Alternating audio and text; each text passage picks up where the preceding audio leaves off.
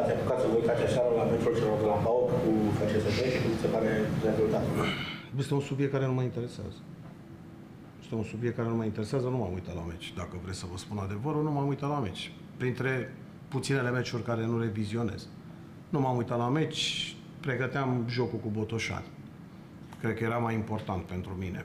Eu, ce să zic, am aflat rezultatul la final, am văzut, m-am mai uitat pe la televizor, mai... Astea.